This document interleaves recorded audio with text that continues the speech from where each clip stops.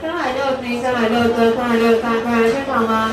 非用餐时间，甚至是平日连锁寿司品牌藏寿司，人潮满满满，整个大厅都是人。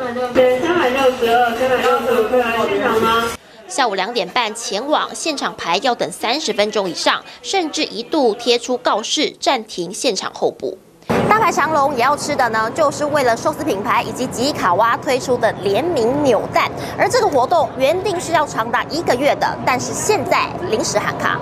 活动八月二十三开始，原定九月二十二号结束的吉伊卡哇扭蛋临时宣布缩短成十一天，就要在九月二号结束。藏寿司致歉，也说明是因为每档扭蛋活动都是限量，九月二号起进入混用期。啊，就是想说慢慢抽，没有就一个礼拜抽一次，但就逼我每天都要吃寿司。我们吃四十五盘，两百块一抽，然后也不一定抽得到，就是手游几率。不过，之所以喊卡，也是因为活动太红，烧出不少乱象。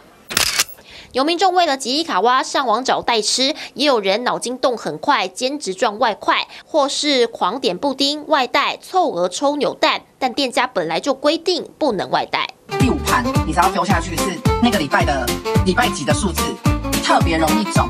也有民众自己想秘诀提升扭蛋几率，第五盘时照新奇数投入，结果真的有中，但也是刚好啦。第二当然是到第十盘，然后再丢就没有了啦。OK，但是就刚刚好那一次有中，那一次就觉得很酷，这样。五花八门招式，为的就是要抽中吉伊卡哇，但为何不干脆去买周边？行销专家认为商品不同，再加上买得到就没这么有价值。对粉丝们来说，限量加抽抽看更是一种乐趣。